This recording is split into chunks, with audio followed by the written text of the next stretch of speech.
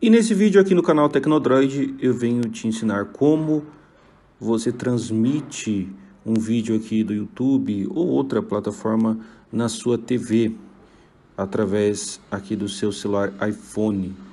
Isso também vale para Android, mas eu vou mostrar aqui fazendo no iPhone.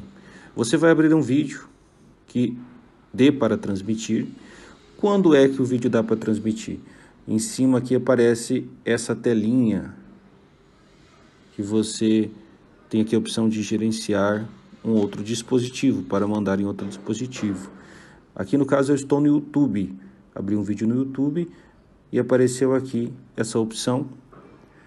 No meu caso já está conectado na TV LG. Aqui é a segunda opção. Se eu clicar nela vai transmitir direto na TV. Ou também dá para conectar no AirPlay ou Bluetooth, primeira opção. E também vincular com uma nova TV ou um novo dispositivo aqui, ó, vincular código de TV. Se não estiver conectado, primeiro de tudo você vai ter que vir aqui em vincular com código de TV. Você quer conectar na sua TV um outro dispositivo, você vai vir aqui.